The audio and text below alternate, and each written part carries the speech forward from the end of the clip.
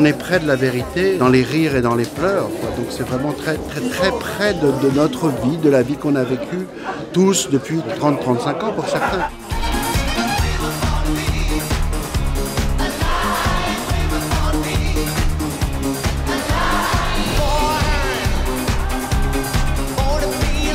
Je suis comme un môme émerveillé de, de, tant d'attention et de temps de lumière et de de, de bonnes choses et de bonnes vibes autour de nous. Bom dia.